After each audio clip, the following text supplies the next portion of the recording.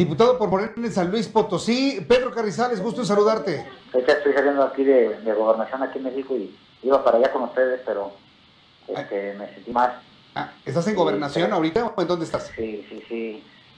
Me están checando ahorita aquí porque traía 170 de, de azúcar, de presión y me subió la presión de azúcar. Correcto. ¿En, en dónde, en, dónde este- en dónde te están atendiendo, mijis?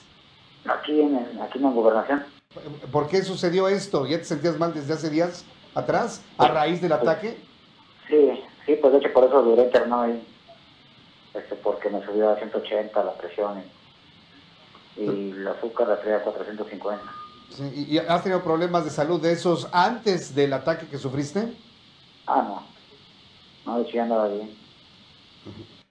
Estu- estuvimos viendo eh, la transmisión por Facebook donde decías que te estaban regañando ahí tus guardias que porque ahí se ponía muy peligrosa la situación. ¿Por qué visitar una zona tan peligrosa, Pedro Carrizales?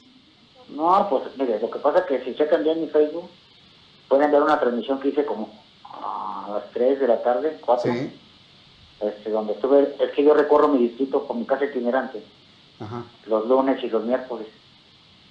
Entonces, eh, las colonias que visité, en las cuales ustedes vieron, esas son mi distrito.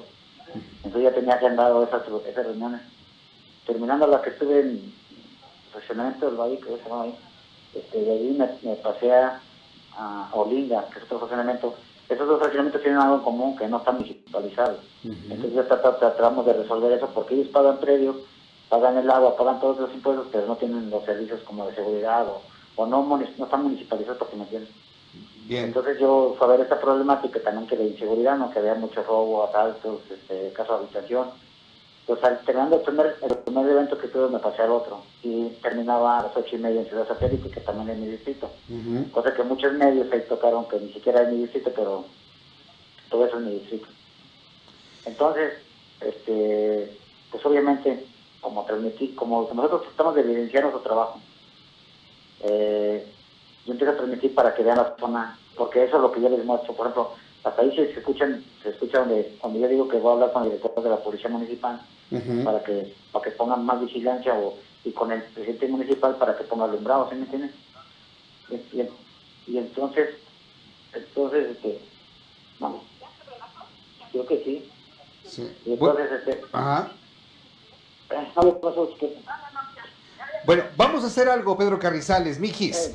Eh, me están diciendo que mañana va a venir aquí al estudio del Heraldo Noticias. Mañana terminamos de platicar toda esta historia y, y- y lo dejo para que le sigan checando presión, azúcar y sobre todo le administren los medicamentos para poder estabilizar la presión arterial. sí, muchas gracias. De acuerdo, mañana nos vemos aquí. Gracias.